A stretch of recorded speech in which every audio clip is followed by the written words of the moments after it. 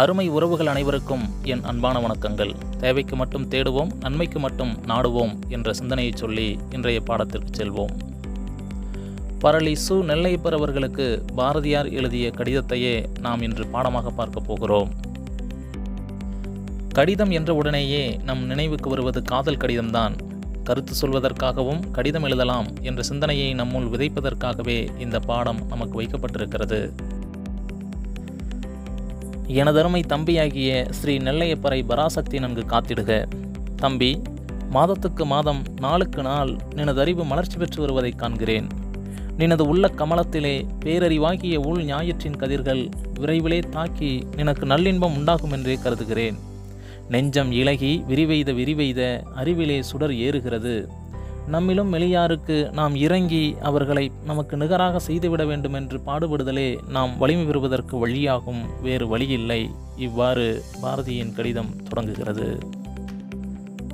அன்பு செலுத்துதல் பாராட்டுதல் அறிவுறுத்துதல் என்ற அடிப்படையில் பாரதியாரின் கடிதம் அமைந்திருக்கிறது. ஸ்ரீ நெல்லையப்பரை பராசக்தி நன்கு காத்திடுக என்று சொல்வதன் மூலம் நெல்லையப்பர் மீது பாரதியார் கொண்டுள்ள அன்பை வெளிப்படுத்துகிறார். அடுத்ததாக எனதறிவு மலர்ச்சி பெற்று வருவதை காண்கிறேன் என்று சொல்லி பாராட்டவும் செய்கிறார். மேலும் நம்மிலும் மெளியவருக்கு நாம் இறங்கி அவர்களை நமக்கு நிகராக செய்துவிட வேண்டும் என்று பாடுபடுதலே நாம் வலிமை பெறுவதற்குரிய வழியாகும் என்று அறிவுறுத்தவும் செய்கிறார். உனக்கு ஹிந்தி மராட்டி முதலிய வடநாட்டு பாஷைகள் தெரிந்திருந்து அந்த பாஷை பத்திரிகைகள் என்ன அற்புதமான புதுமை பெற்றுள்ளன என்பதை நேரிட தெரிந்து கொள்ள முடியுமானால் தமிழ்நாட்டிற்கு எத்தனை நன்மை உண்டாகும்? தமிழ் தமிழ் தமிழ் என்று எப்போதும் தமிழை வளர்ப்பதே கடமையாக கொள்க. ஆனால் புதிய செய்தி புதிய புதிய யோசனை புதிய புதிய உண்மை புதிய புதிய இன்பம் தமிழில் ஏறிக்கொண்டே போக வேண்டும். உன்னை போன்ற இளையோர் தமிழை வளர்க்க பாடுபட வேண்டும். தம்பி நான் ஏது செய்வேனடா? என்று அந்த கடிதம் தொடர்கிறது. தமிழ் மட்டும் கற்றிருந்தால் போதாது. ஹிந்தி மராட்டி முதலிய வடநாட்டு மொழிகளையும் கற்றுக்கொள்ள வேண்டும். அம்மொழிகளில் வெளிவருகின்ற பத்திரிகைகள் நூல்கள் முதலானவற்றை நன்கு படித்து அம்மொழியின் சிறப்புகளை அறிந்து கொள்ள வேண்டும்.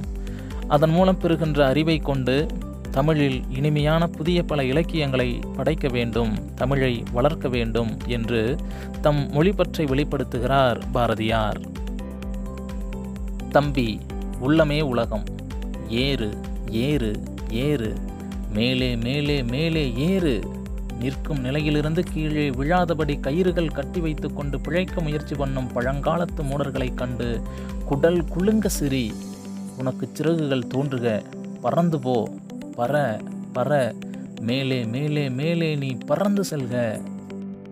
என்ற பாரதியின் வரிகள் நெல்லையப்பருக்கு மட்டுமல்ல நமக்குள்ளும் நம்பிக்கை விதையை ஊன்றுகிறது. ஆம். மொழிகள் பலவற்றை கற்றுக்கொண்டால் உள்ளமே உலகமாக மாறிவிடும். அப்போது நாம் பல்வேறு சாதனைகளை நிகழ்த்திவிடலாம். தொடர்ந்து மேலே மேலே மேலே அடுத்து அடுத்து அடுத்து என்று பல்வேறு வெற்றிகளை குவிக்க முடியும். தம்பி தமிழ்நாடு வாழ்க என்று எழுது. தமிழ்நாட்டில் நோய்கள் தீர்க என்று எழுது. தமிழ்நாட்டில் வீதிதோறும் தமிழ் பள்ளிக்கூடங்கள் மளிக என்று எழுது. அந்த தமிழ் பள்ளிக்கூடங்களிலே நவீன கலைகளெல்லாம் பயிற்சி பெற்று வளர்க என்று எழுது. ஆணும் பெண்ணும் ஓர் உயிரின் இரண்டு தலைகள் என்று எழுது. அவை ஒன்றிலொன்று தாழ்வில்லை என்று எழுது. பெண்ணை தாழ்மை செய்தோன் கண்ணை குத்தி கொண்டான் என்று எழுது. பெண்ணை அடைத்தவன் கண்ணை அடைத்தான் என்று எழுது. தொழில்கள் தொழில்கள் தொழில்கள் என்று கூவு. வியாபாரம் வளர்க எந்திரங்கள் பெருகுக முயற்சிகள் ஓங்குக. சங்கீதம் சிற்பம் எந்திர நூல் பூமி நூல் வானநூல் இயற்கை நூலின் ஆயிரம் கிளைகள் இவை தமிழ்நாட்டிலே மலிந்திடுக என்று முழங்கு. சக்தி சக்தி சக்தி என்று பாடு. தம்பி நீ வாழ்க என்று கடிதத்தை முடிக்கிறார் பாரதியார். கடிதத்தின் இறுதி பகுதியில் சமூகப்பற்றை பற்றை விதைக்கிறார் பாரதியார்.